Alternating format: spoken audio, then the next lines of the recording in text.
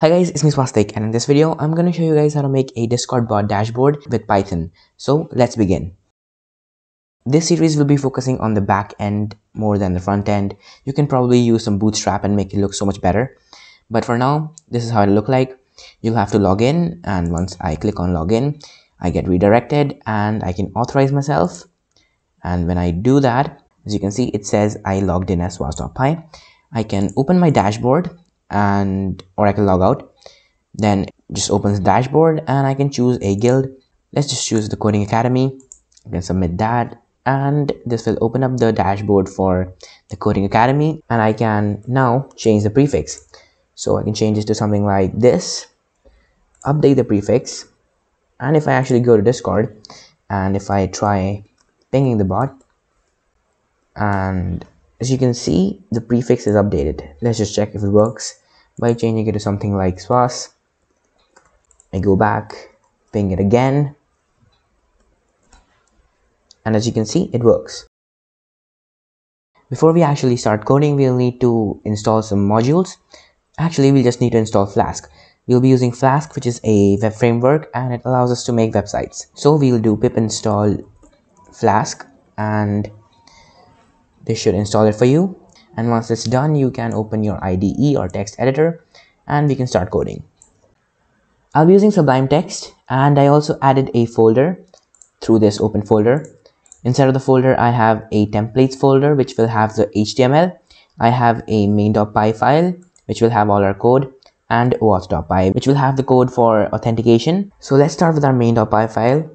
From flask we will import flask with f capital now we need to make our app. So app will be equal to flask and we need to give it the file name.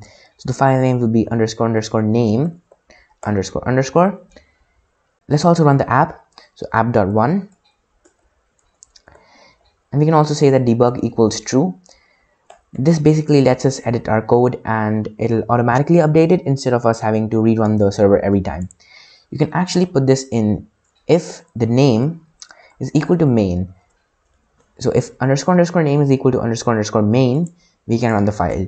What this basically does is if we run the file directly only then will it run the app. This is useful because if you import the file we don't want the server to run. So once this is done we can create our website here. So let's create our home page. So we'll write define home. And inside of this we'll need to return either a string we can either return a string with HTML text so h1 hello. I can write that hi. Now you could do this but a better way would be to have a function which is render template which allows us to actually render HTML files which will be inside this templates folder. So we can do that instead and render template and we can render index.html index.html and you'll also need to specify a decorator which will be app.route and this will be simply the slash for our home. So let's actually write this index.html so i just wrote some basic html just html a title homepage and it just has welcome to coding bot. So let's see if it works. So i'll run the file main.py so as you can see i ran the file and now it's live on our local host let's just copy this link and let's go there. And as you can see it just displays the index.html file. Now you can actually change it to say for example you can add h1 tags i guess. H1 and h1 we close that. Let's save it and let's reload this. And as you can see this works. So now let's actually add a button that will allow us to log in with discord. So i'll just paste this in here this just basically says click here to log in and it's a anchor tag with the href. Now this allows us to actually pass in this discord url as a parameter. So if i have discord underscore url and for now let's just give it google for example https just github.com i guess. This works as well. And as you can see this will actually redirect us to this url that has been passed in through this render template function. Then we have a button tag that just says login with discord so let's see if it works I'll just go here and I'll click on login with Discord. And as you can see, it redirects us to GitHub.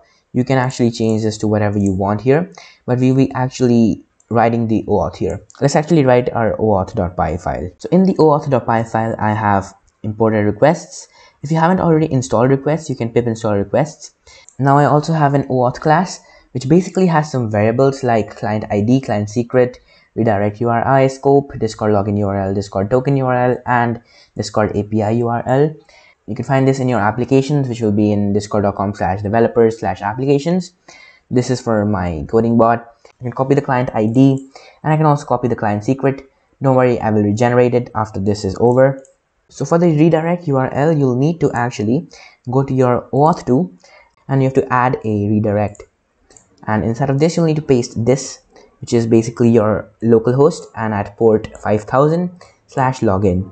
So just do that. And once you have that you can create an OAuth 2 URL which will basically be first you need to select your uh, redirect and then you need to take the identify scope the email scope and the guild scope. So you have this here. You can copy this and you can come back. You can paste the redirect URL as this exactly the same don't need to change anything. Scope can be this as well.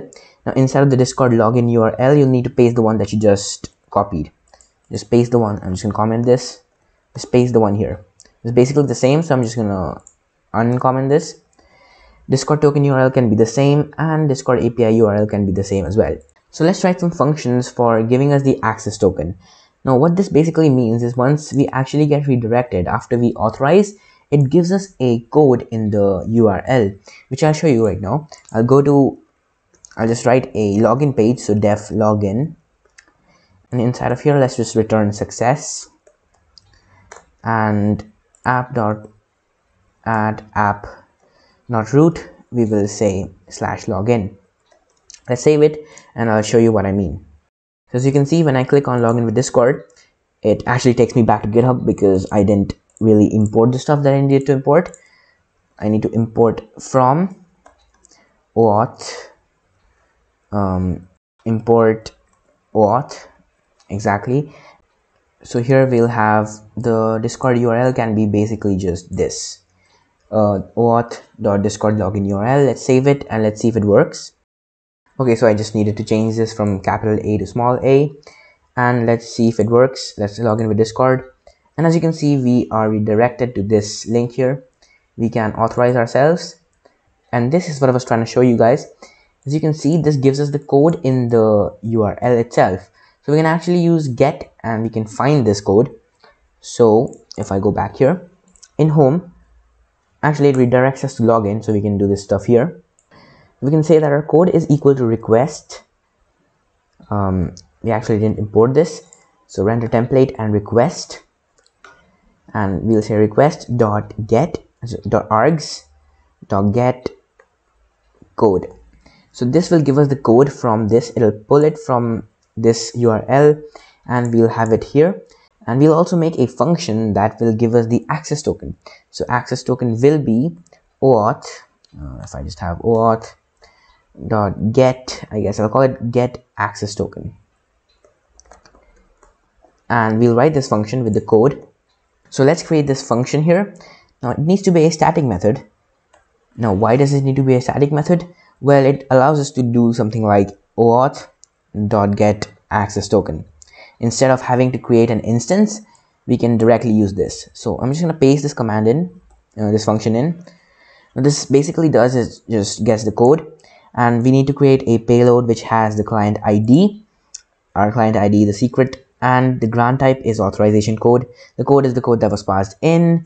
The redirect uri is the redirect uri and the scope is the scope. After that we post it to the url the token url and we get the data which is the payload. We convert it to a json and we get the access token. Once we have the access token we return that. Now we actually need to store this in the session. And actually import this session module and inside of the login we'll actually store this. Let's just say session token equals 80 and we can return success. You'll also actually need to say app config and secret key equals and it can be anything you want. I can just spam characters here or you could just have something meaningful. Just doesn't matter. You can have anything you want here. I'm just gonna keep test one two three and once I have this here this should actually store. And let's see if it works. So I log in with discord. I authorize myself and it works. It's a success. So to actually check that it works we can get we can write another function which will basically give us the username and the tag. So for that i'm just going to paste another function in this is basically another static method with get user underscore json with the access token. We have the url which is the api url slash users at me. And the headers are basically authorization. The bearer is the access token. After we get the url and we convert it to a json that will be the user object. And then we return that. So inside of the main.py file we can say that oauth.get user json and we can pass the access token in here. And we can say as our user object. So user dot we can actually say the username and the user id so the username and the user id will be user dot get the username and user dot get the discriminator. And we can print instead of actually printing. I mean we can return success logged in as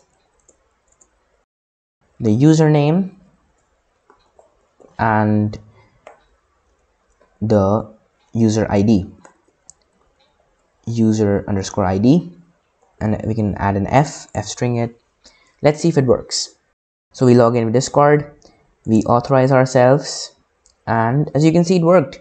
Success logged in as Swas.py and this is it for part one. I'll be making the rest of the dashboard in the later parts in the series. So if you did enjoy this video hit the like button and subscribe and you can comment below if you had any doubts or you can join my discord server. The link will also be in the description below. And i'll meet you in the next one. Goodbye